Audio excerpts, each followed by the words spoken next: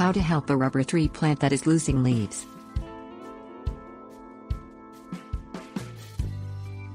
Although it is normal for a few leaves to fall off rubber tree plants during the seasonal change from summer to fall, excessive leaf loss indicates a problem.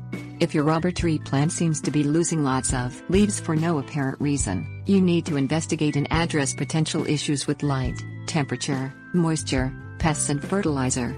With some general rubber tree plant know-how and a few common garden materials, you can help prevent further leaf loss and reclaim the health of your plant.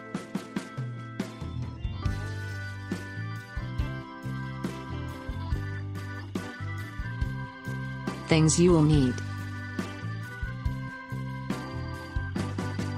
Spray bottle, pan or tray, pebbles, insecticide, fertilizer.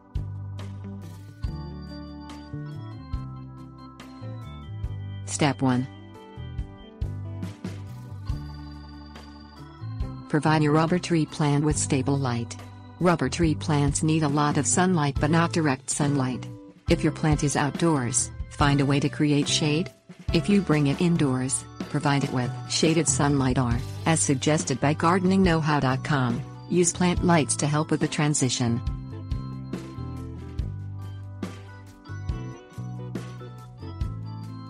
Step 2 Provide your rubber tree plant with stable temperatures.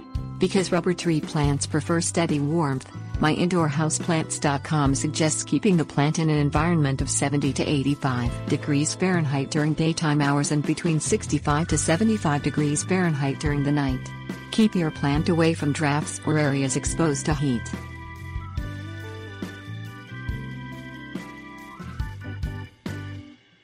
Step 3 Get your moisture levels right. Rubber tree plants prefer humid climates. If you live in a drier climate or your plant is indoors, gardeningknowhow.com suggests misting the plant daily with a spray bottle filled with water or placing the plant on a pan or tray of pebbles filled with water. Because the plant will lose its leaves if it gets too much water, myindoorhouseplants.com recommends letting the top half inch of soil dry out before rewatering.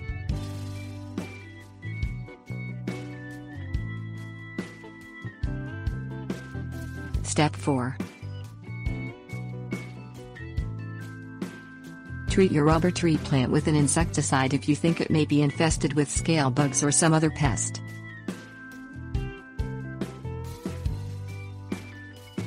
Step 5 Resist the desire to over-fertilize your rubber tree plant. According to myindoorhouseplants.com, Feeding your rubber tree plant too much may cause it to lose its leaves. Fertilize your leaf losing plant once every two weeks to help it get back on track.